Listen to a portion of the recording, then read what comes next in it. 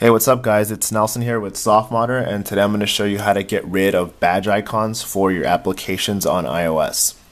So as you can see here at the bottom I have a couple of badges for phone and for mail. For phone I don't usually check my voicemails and for mail I don't really check all of my mail and I have uh, over 13,000 unread emails.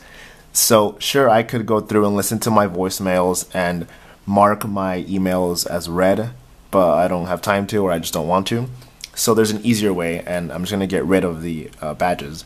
So what you can do is go to Settings, Notification Center, and then scroll down and find Phone and disable badge app icon. So it's turned off. Go back, and now I'm going to check Mail, and I'm going to go to Gmail because that's the account that I have it linked with, and disable badge app icon.